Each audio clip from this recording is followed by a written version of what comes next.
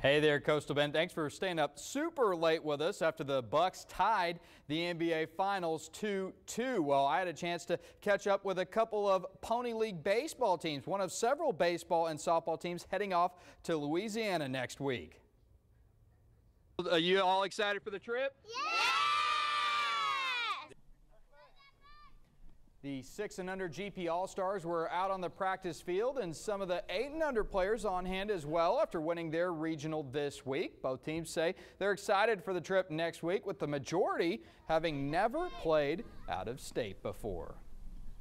One time a boy hit it and my outfielder caught it. and pretty, we all pretty good catch? Yes, and we all dogpiled him. What's your favorite part of, of baseball in the game? Hitting. Hitting? What makes you? What do you think makes you a good hitter?